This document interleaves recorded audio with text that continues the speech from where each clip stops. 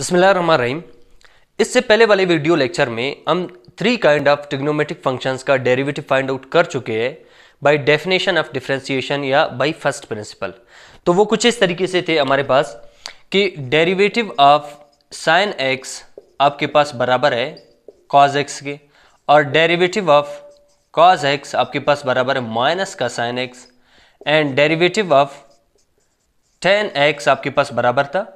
Secant square x तो ये इन तीन ट्रिग्नोमेट्रिक फ़ंक्शंस का डेरिवेटिव हम फाइंड आउट कर चुके हैं बाय डेफिनेशन ऑफ़ डिफरेंशिएशन आज इन्हीं फार्मूलों का यूज़ करके हम मजीद जो हमारे पास थ्री ट्रिग्नोमेट्रिक फ़ंक्शंस है, उनका डेरिवेटिव फाइंड आउट करेंगे. सो लेट्स स्टार्ट करते हैं.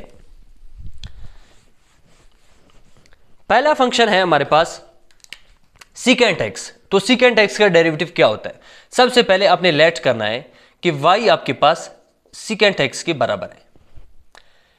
अब मैं इसको लिख सकता हूँ, y is equal to one upon cos x क्योंकि हम जानते हैं कि सीकेंट एक्स बराबर होता है वन अपॉन कॉज एक्स के। तो मैंने इसको इस तरीके से लिखा। अब मैं इसको डिफ्रेंशिएट करूँगा। So taking derivative taking derivative on both sides with respect to x तो ये वाला साइड मेरे पास बन जाएगा d y upon d of x और यहाँ पे मेरे पास बन जाएगा d upon d x of one upon cos x अब ये हमारे पास one upon cos x cos x divide में है तो यहाँ पर हम यूज़ करेंगे क्वेश्चन रूल का। तो ऊपर वाला हमारे पास एफ़ ऑफ़ एक्स है, नीचे वाला हमारे पास जी ऑफ़ एक्स है। तो क्वेश्चन रूल क्या कहता है?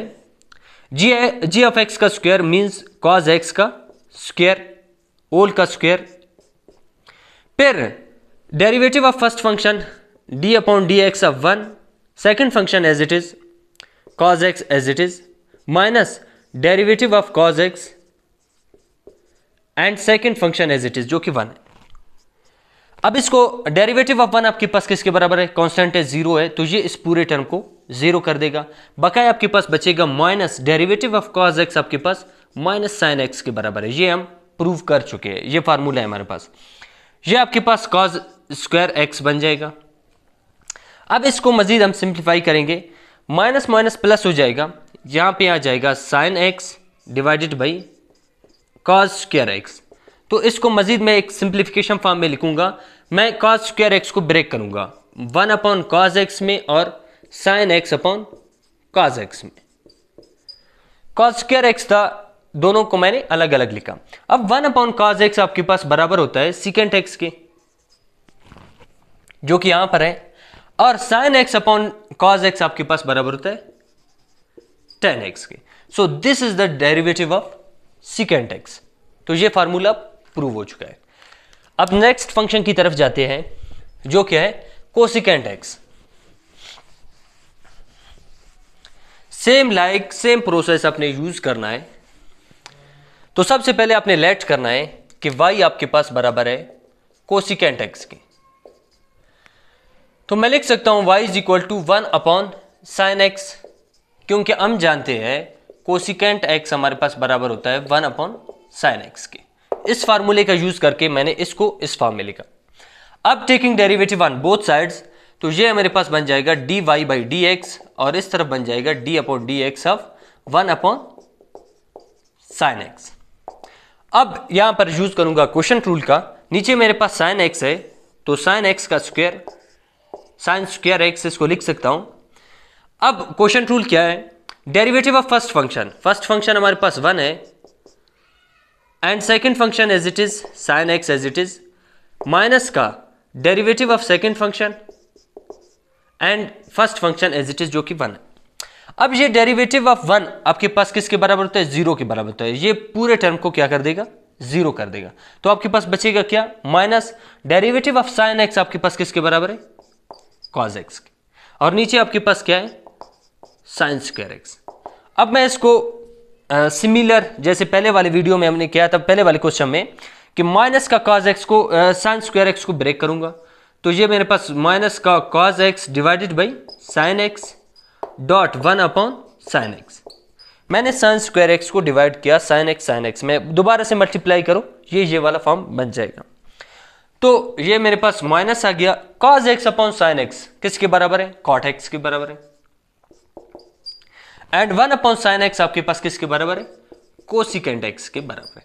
तो इसको हम लिख सकते हैं माइनस का cosecant x cot x this is the derivative of cosecant x तो डेरिवेटिव ऑफ़ कोसिकेंट एक्स आपके पास किसके बराबर है? Minus cosecant x cot x third one है हमारे पास कॉट एक्स इसके लिए भी सिमिलर प्रोसीजर यूज़ होगा। तो आपने क्या करना है? सबसे पहले लेट करना है कि y आपके पास बराबर है कॉट एक्स के। अब एक फार्मूला का यूज़ करना है। कॉट एक्स आपके पास किसके बराबर है? Cos x upon sine x के। तो मैं इसको इस फॉर्म में लिखूँगा कि कॉट एक्स आपके पास बराबर है cos x upon sine x की। अब taking derivative on both sides तो ये वाला साइड मेरे पास बन जाएगा d y upon d x and ये वाला साइड बन जाएगा d upon d x of cos x upon sine x अब इस पे यूज़ करूँगा क्वेश्चन रूल का। तो इस केस में कॉज एक्स आपके पास एफ़ ऑफ़ एक्स है और साइन एक्स आपके पास जी ऑफ़ एक्स है। तो क्वेश्चन रूल किस तरीके से है? साइन एक्स का square sine square x derivative of first function d upon d x of cos x and second function as it is sine x as it is फिर आपके पास माइनस है derivative of second function sine x and cos x as it is तो अब derivative apply करते हैं। Derivative of cos x आपके पास माइनस साइन एक्स के बराबर होते हैं। और sine x as it is minus derivative of sine x आपके पास कॉज एक्स के बराबर होता है। And cos x as it is divided by sine square x अब इसको मैं लिख सकता हूँ। Sine multiply by sine sine का स्क्वायर बन जाएगा, साइन स्क्वायर एक्स माइनस का, ये बन जाएगा cos square x divided by sine square x अब मैं क्या करूँगा? यहाँ से मैं माइनस को कॉमन लूँगा। तो ये माइनस मेरे पास कॉमन आ गया। यहाँ पे आपके पास आ जाएगा साइन स्क्वायर एक्स प्लस का कॉज स्क्वायर एक्स और नीचे आपके पास है साइन स्क्वायर एक्स अब मैं यूज़ करूँगा एक ट्रिग्नोमेट्रिक आइडेंटिटी का कि sine square x plus cos square x आपके पास वन के बराबर होता है। तो इस पूरे की जगह पर मैं वन लिखूँगा। One upon sine square x और वन अपॉन साइन स्क्वायर आपके पास किसके बराबर है? माइनस का cosecant square x so the derivative of cot x आपके पास किसके बराबर होता है? माइनस का कोसिकेंट स्क्वायर एक्स के। तो मेरे ख्याल से जितने भी ट्रिग्नोमेट्रिक रेशोज थे ट्रिग्नोमेट्रिक फ़ंक्शंस थे उन सब का डेरिवेटिव हम फाइंड आउट कर चुके हैं। तीन को हमने इस तरीके से फाइंड आउट किया और बकाया जो तीन था उनको हमने by definition of differentiation find out किया था। सो so, आज के वीडियो लेक्चर में इतना ही काफ़ी। मिलेंगे नेक्स्ट वीडियो में विद अदर एग्ज़ाम्पल हाफिज़।